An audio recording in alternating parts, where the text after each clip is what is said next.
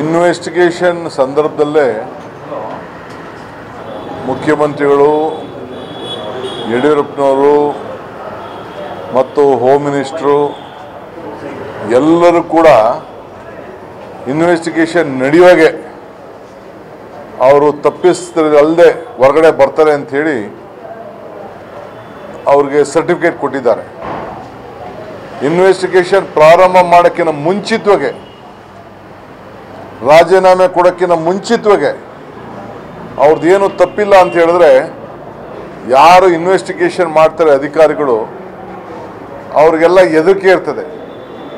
So ಸರ್ಕಾರ ಅವರ ಗೌರವನ ಕಳ್ಕೊಳ್ಬೇಕಾಗ್ತದೆ ಅನ್ನೋ ದೃಷ್ಟಿಯಿಂದ ಇವತ್ತು ಅವ್ರಿಗೆ ಬಿ ರಿಪೋರ್ಟನ್ನು ಕೊಟ್ಟಿದ್ದಾರೆ. ಇದು ಎಲ್ಲರಿಗೂ ಕೂಡ ಜಗತ್ ಜಾಹೀರಾದಂಥ ವಿಚಾರ. ಈಗ, ಕಾರಜೋಳ ಹೋಗಿ ಏನು ಸ್ಟೇಟ್ಮೆಂಟ್ ಕೊಟ್ಟರು ಅಲ್ಲಿ ಇವರು ಹೋಗಿ, ರಮೇಶ್ ಜಾರಕಿಹೊಳಿ ಹೋಗಿ ಅಲ್ಲೋಗಿ ಹೋಗಿ ಸ್ಟೇಟ್ಮೆಂಟ್ ಕೊಟ್ಟರು ಆಮೇಲೆ ನಿರಾಣಿ ಹೋಗ್ಬಿಟ್ಟು ಈ ಸ್ಟೇಟ್ಮೆಂಟ್ ಕೊಟ್ಟರು ಅಲ್ಲಿ ಕೆಲಸ ಆಗಿದೆ ಅಂತ ಹೇಳಿ ಕೊಟ್ಟರು ಕೆಲಸ ನಡೆದಿದೆ ಅನ್ನೋದು ಕೂಡ ಗೊತ್ತಾಯಿತು. ಆತ ಪ್ರೈಮ್ ಮಿನಿಸ್ಟ್ರಿಗೂ ಕಾಗ್ದ ಬರೆದ. ನಾಯಕರುಗಳಿಗೂ ಕಾಗ್ದ ಬರೆದ. ಎಲ್ಲ ಯಾರ್ಯಾರಿಗೆ ಗವರ್ನರ್ಗೂ ಕಾಗ್ದ ಬರೆದ. ಮೊನ್ನೆ ಅವರ ಧರ್ಮಪತ್ನಿದ್ರು ಕೂಡ ಕಾಗ್ದ ಬರೆದ್ರು. ಅವ್ರಿಗೆ ಬಿ ರಿಪೋರ್ಟ್ ಅವ್ರಿಗೆ ನ್ಯಾಯ ಕೊಡಿಸ್ತಾ ಇದ್ದಾರೆ ಹೊರತು ಯಾರು ಸತ್ತವ್ರಿಗೆ ಅವ್ರ ಕುಟುಂಬಕ್ಕೆ ನ್ಯಾಯ ಇಲ್ಲಿ ಸಿಗ್ತಾ ಇಲ್ಲ.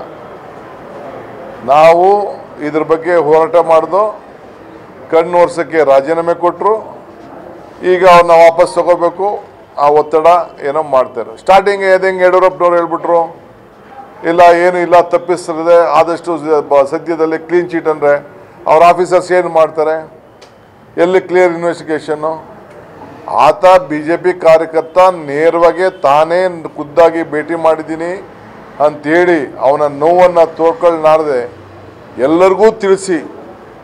ಇವತ್ತು ಈ ಘಟನೆಗೆ ಮುಚ್ಚಾಕ್ಲಿಕ್ಕೆ ಏನು ಪ್ರಯತ್ನ ಮಾಡ್ತಾ ಇದ್ದಾರೆ ಇದು ಬಿ ಜೆ ಪಿಯ ಸರ್ಕಾರಕ್ಕೆ ಇದು ನಾಚಿಕೆಡ್ತನ ಅವ್ರು ಯಾವ ಬಿ ರಿಪೋರ್ಟ್ ಕೊಟ್ರು ಈ ರಾಜ್ಯದ ಜನತೆ ಗೊತ್ತಿದೆ, ಇದು ಫಾರ್ಟಿ ಪರ್ಸೆಂಟ್ ಕಮಿಷನ್ ಸರ್ಕಾರ ಅಂತ.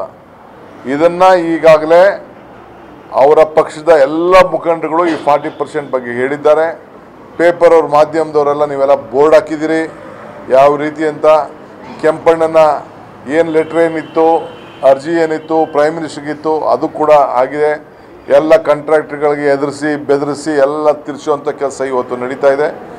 ಈ ಫಾರ್ಟಿ ಪರ್ಸೆಂಟ್ ಕಳಂಕಿತ ಸರ್ಕಾರನ ಯಾವ ಕಾರಣಕ್ಕೂ ಜನ ಕ್ಷಮಿಸುವುದಿಲ್ಲ. ಸರ್ ಸಂತೋಷ್ ಪಾಟೀಲ್ ಹೇಳಿಕೆಳಿ ಬಿಜೆಪಿ ನೋಡ್ತಾ ಇರಿ ಸಮ ಸಮಾಜಕ್ಕಾಗಿ ಕನ್ನಡ ಒನ್ ನ್ಯೂಸ್